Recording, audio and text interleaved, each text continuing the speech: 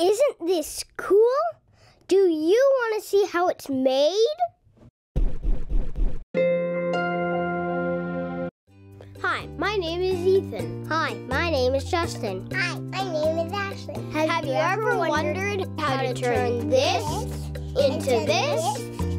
We're at Launa's jewelry stand in the Cayman Islands at the farmer's market.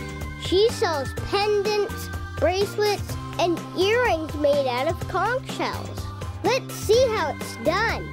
So here we are at the workshop. This is Jose.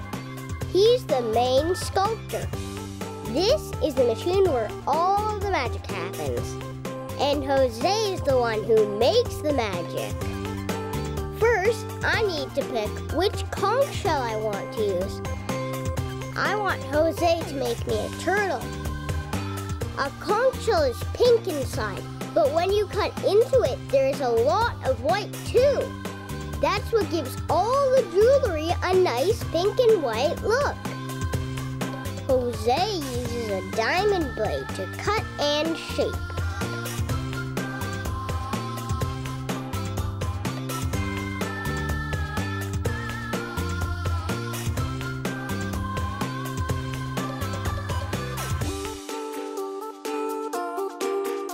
Then he uses sandpaper with different grit sizes.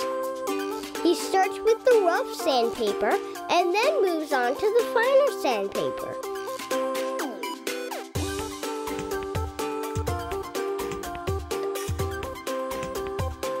Last of all, he uses a thick cloth on the machine to polish it.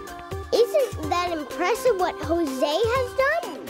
It will be a very cool necklace for me. Want Jose to make a circle out of a conch shell. It will be a pretty necklace for me. I love it. If you want to see more jewelry, we'll put Launa's website in the description below.